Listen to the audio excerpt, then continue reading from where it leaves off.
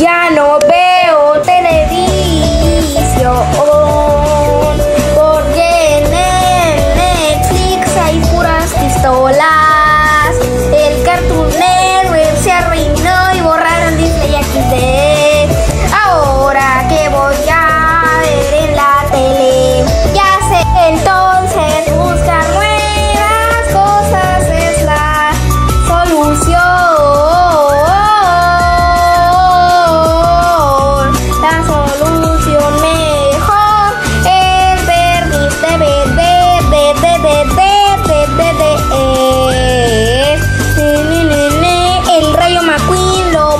Pero mi papá me quitó la tele para ver cosas de terror y pistola.